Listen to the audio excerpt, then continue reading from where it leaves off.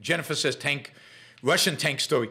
I think I've told this story though. I, I, I just remembered that I think I told this story. But when I was in the tank corps, the, the, we were, uh, you know, we were really uh, um, trained. We trained against the Russian T-72.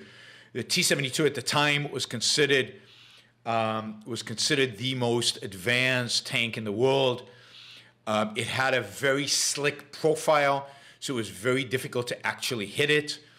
Um, and it was it was relatively fast, and it had what no Western tank had was it had an automatic uh, loading system of the uh, projectiles that a, a tank fires. So in a typical tank, you have four members, you have a driver, you have a loader, you have a gunner who shoots, and you have a tank commander.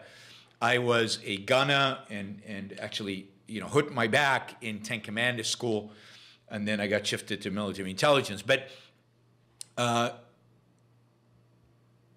so we were basically training against T-72, uh, uh, the T-72s, and and and uh, and uh, you know we were we were uh, told that you know they had the best tanks, and unfortunately I was in the most primitive tanks the Israelis had. The Israelis had these old Centurion tanks, which were British tanks uh, from the 1950s and 60s.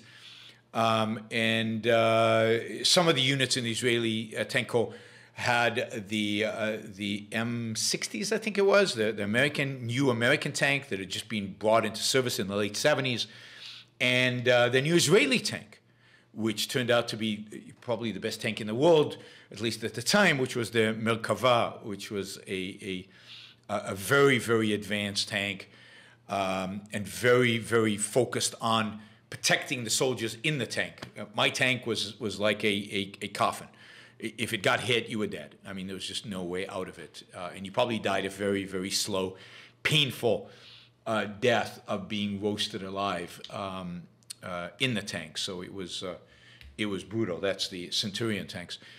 Uh, anyway, so we trained against the Russian tanks. And, and of course, we were always told, you know, we were scared of the Russian tanks and it was always a worry and it was always a fear. And then um, uh, the Israeli tank corps actually engaged with the Russians in with the Russian tanks with the, that the Syrians had in uh, 1982 in the in the war in Lebanon. Now by that point I was in military intelligence. I was not in um, in the tank corps, uh, luckily, uh, and uh, so I, I, didn't see combat in that sense. Uh, but I was part of my role in intelligence was to monitor what was going on, and and I'll, I'll give you an example of that in a minute, but.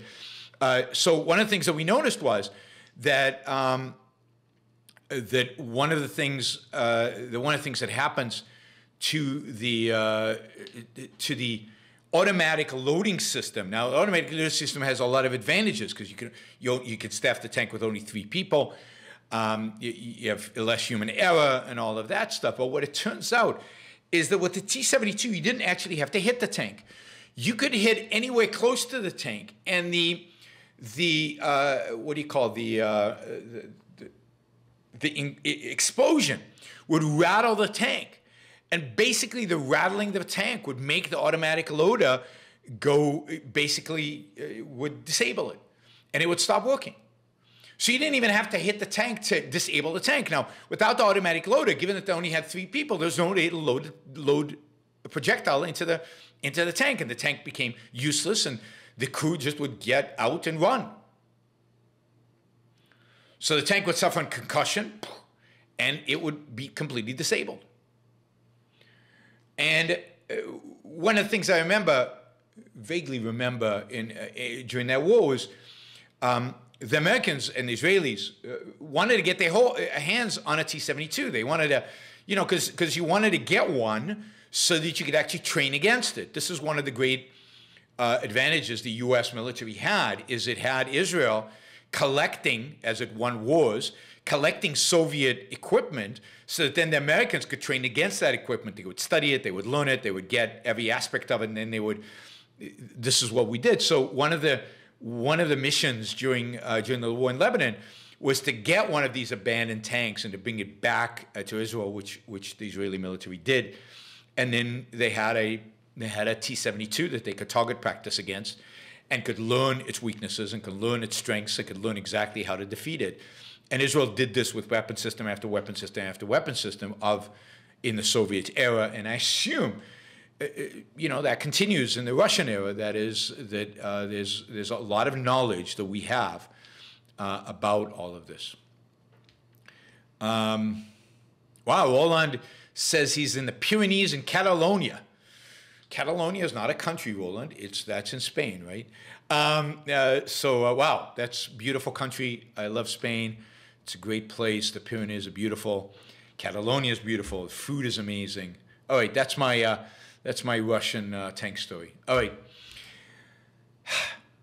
are we done with tanks, Ukraine, and Russia for a little while?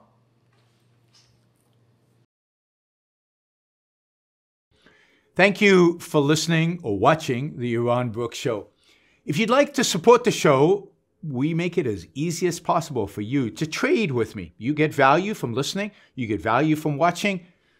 Show your appreciation. You can do that by going to yaronbrookshow.com slash support, by going to Patreon, Subscribestar, Locals, and just making a appropriate contribution uh, on any one of those uh, any one of those channels. Also, if you'd like to see the Yaron Brook Show grow, please consider sharing our content and, of course, subscribe. Press that little bell button right down there on YouTube so that you get an announcement when we go live. And for you, those of you who are already subscribers and those of you who are already supporters of the show, thank you.